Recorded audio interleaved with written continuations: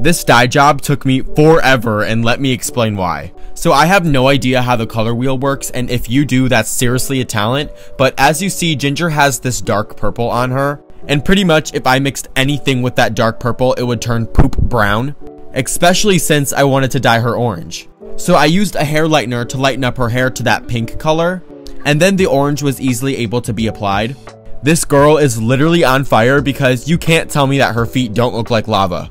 So basically, first I had to put on the lightener, let that sit for 30 minutes, then wash it off, dry it, put on the orange, let that sit for 30 minutes, then wash it off and dry it, and then I'm finally able to give Ginger her haircut.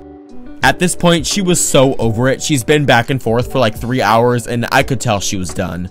She's a soft-coated Wheaten Terrier for the ones that don't know, and they're just all so stubborn. But this was her final look, and I think it turned out so adorable for Halloween. Bye, Ginger.